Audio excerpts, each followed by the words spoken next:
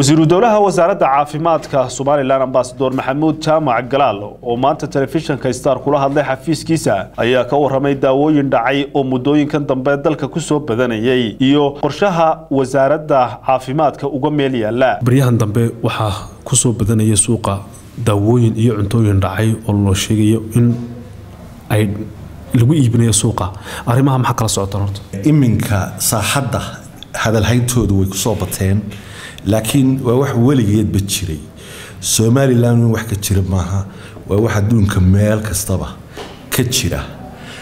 Marka dowlad kastaba waxa saaran mas'uuliyad inay arrimaha la dagaalanto tayada cuntada raashinka iyo dawooyinkaba ilaaliso. Waana hawlaanu ku jiro laakiin wax cusub oo soo kordho iminka suuqa ku soo kordhay. Maaha ee waa wixii jiray oo iminka hadalhaynteedii ay badatay. Waxaanu leenahay howlwadeenno wareega oo kormeer ku sameeya goobaha caafimaadka oo ay ka mid yihiin farmasiyadu.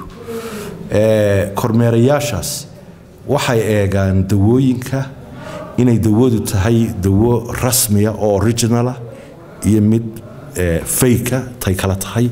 Waxay eegaan wakhtigeeda iyo inay dhacday haddii ay helaan dawooyin dhacay dawooyinkaa waa la qabtaa waa la gubaa anshaxmarinna waa la mariyaa. Ciddii arintaa ka dambaysay. Ugu badan ee dalka soo gala waa wax arrin xagga dibadaha inooga yimaadaa ma leeyahay qalabkii lagu baarhayay dalku? Ma haysta ama wasaaradda caafimaadku ma haysaan qalabka wax lagu baaro qalabkii horta qalabku waa qalab aada u qaali ah. Dawada in la eego waxaana aanu aynu leenahay hay'ad u gaara oo tayada dhowrta. Kastam kastaba way joogtaa hay'adaasi. Markay dawooyinka wadanka soo gelayaan yadaa ka mas'uula yadaana hawsha haysa. Wixii soo gala ee wadanka gudihiisa ku dhaca annagaa ka mas'uula mas'uuliyadaasina waa midaanu si wanaagsan aanu u oofino o aanu uga qayb galno. Qalabkan w h o. Ayaanu iminka ka sugaynaa qalab baarista. Laakiin iminka wakhtigan xaadirka ah. Qalabkii ma wada hayno. Geesta kalena wasiiru dowlaha caafimaadku waxa uu faahfaahin ka bixiyey deegaanada somalilan dad ugu dhintay cudurrada shubanbiyoodka iyo jadeecada waxaana uu yidhi xilliga abaaraha had iyo goor abaaraha waxaa la socda cudurro nafaqadara keento.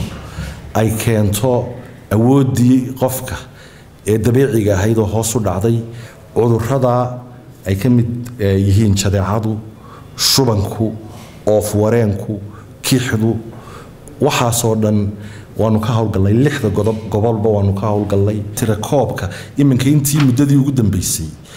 Sidaan horeba u sheegay coodanle laba qof baa ku dhintay ama qorilugud qorilugud laba qof baa ku dhintay.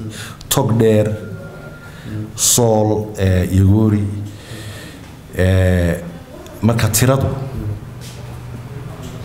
waa taa iminka tii ugu dambeysay waa taa maxamuud xuseen jaamaca telefishinka caalamiga star t v magaalada hargeysa